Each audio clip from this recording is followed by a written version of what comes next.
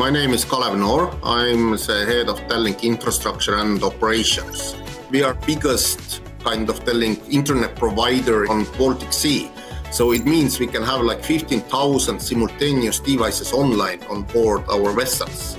Our plan was actually just to extend our current NDR and we decided that okay let's give vectra a try run. And we got surprise actually. We saw a lot less noise. That means that we have more free time to do other tasks that our team can really concentrate on the vectra and manage everything that Vectra is giving out. And also we could really see that what is important, what is not. So Vectra has this nice screen that highlighting like high, medium and different threat types. Our previous solution, it's supposed to be better than Vectra. It actually didn't catch the, all the things uh, that we looked. Vectra really performed better.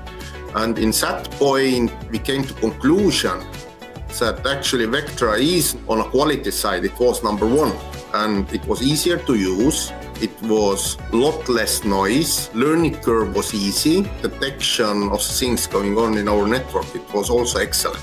When we uh, took our first NDR, it took us three months to implement. With Vectra, we did the same inside the one month. We came to conclusions that we want Vectra in-house because it's easier, less noise, less work, and working nicely.